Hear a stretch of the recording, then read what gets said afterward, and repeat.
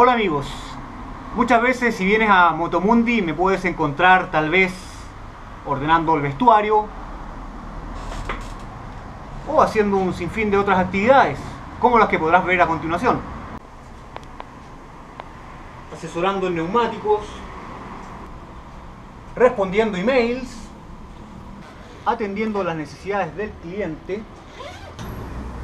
o ayudando a nuestros trabajadores. Pero ya era hora de un paseo. Por tanto, en un segundo daré la orden y me verás arriba de mi moto para hacer un paseo de fin de semana de ida y vuelta. Vamos, acompáñame.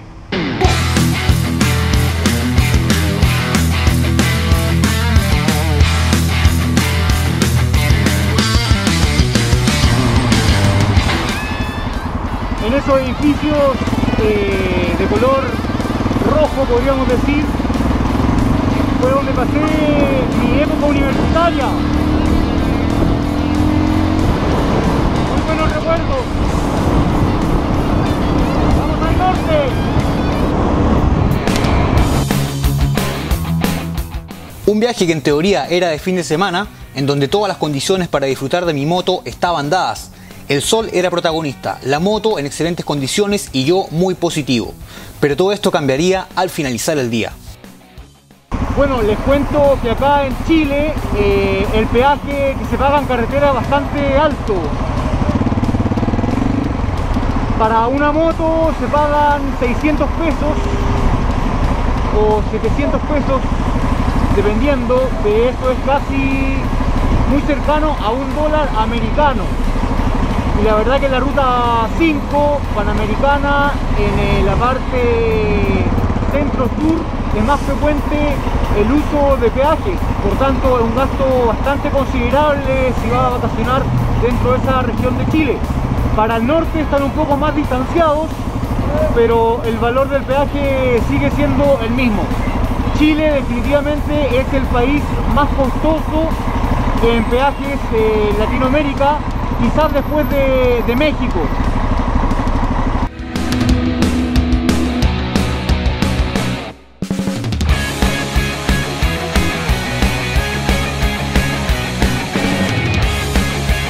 Nada como tu monedero en tu propia chaqueta.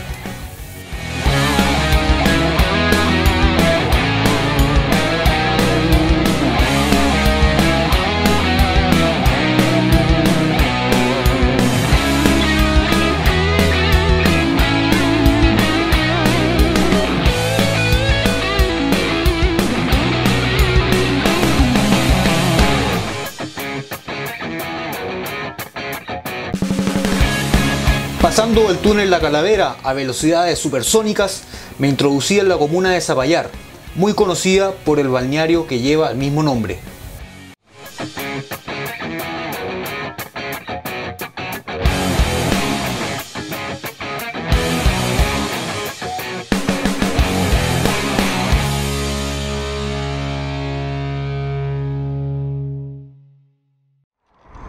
Había que hacer el alto, vamos a probar algunos dulces, a ver qué, de qué tipos tienen. Yo más o menos ya los conozco, pero vamos a preguntarle de todas maneras.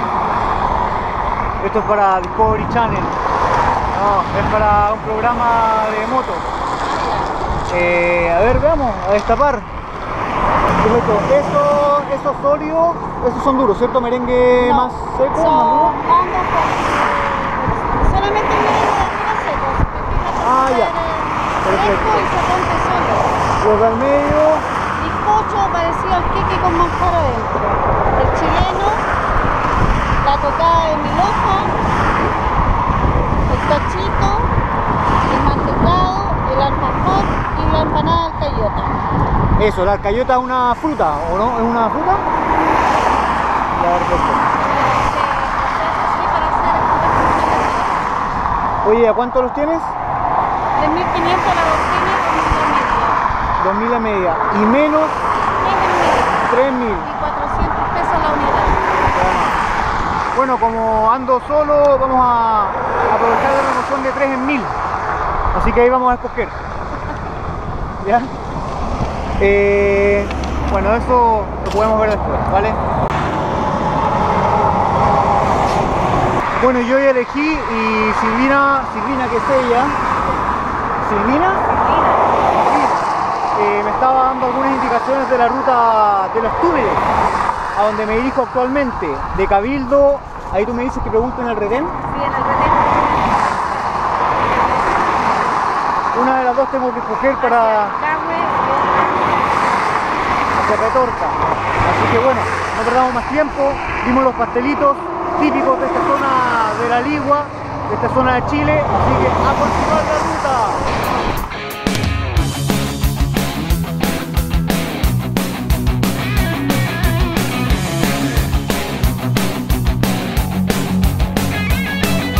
Fiel a mis costumbres, despejaba todas mis dudas con mi inseparable GPS Pronto Copec.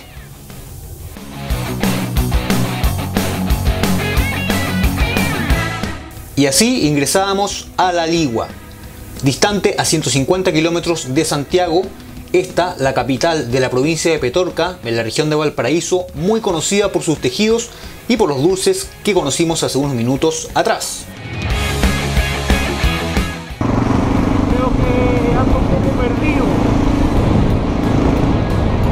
Acá mi GPS preferido, llamado también PPS. Pare, pregunta y siga. Bueno, en este caso, devuélvase. Señora, ¿cómo le va? Le hago una consulta. Para ir a Cabildo, Para Cabildo, ¿por dónde? tienes que pasar para abajo nomás, que va desde Iquique hasta Cabildo. Ah, perfecto, me devuelvo. Listo, gracias.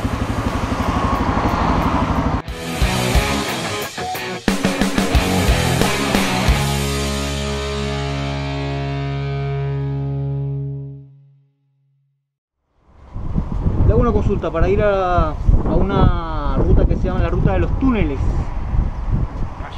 Acá. ¿No? Ah, ya, no, pero es por acá. Le pregunto más adelante. Gracias.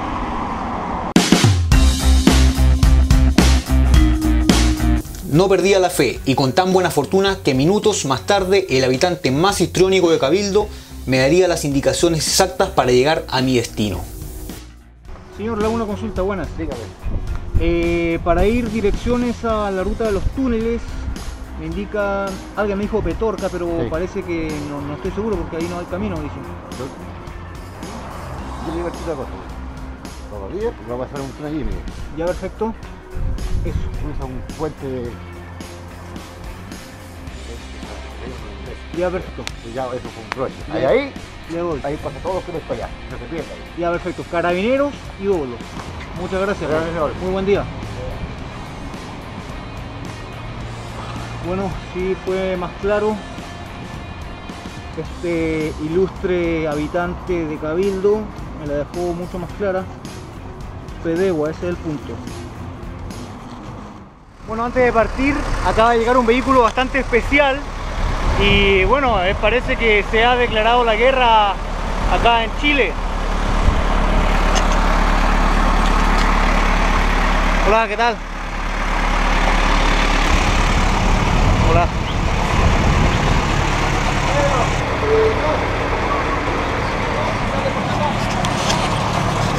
Y bueno, le acaban de decir que parece que tiene roto el estanque, pero él refuta diciendo que no, que parece que filtra algo por la tapa.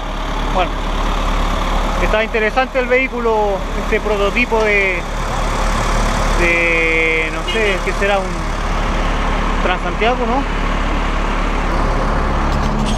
A seguir ruta.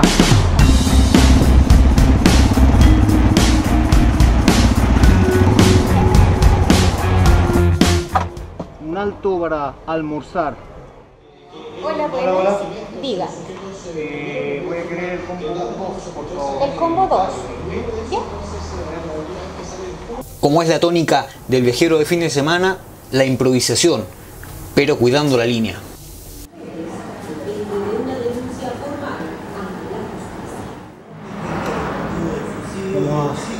A ver si puedo cargar la cámara, que ya me está dando síntomas de que le queda poca batería. Te pido un favor, ¿será posible cargar un momento una camarita? Sí, gracias. Siempre hay que acarrear dos baterías por eh, cámara. Eso es lo ideal. Lamentablemente, eh, la verdad que me responsabilizo de aquello, de no tener otra batería para la GoPro. Nunca en todos los viajes ando con otra batería. Error.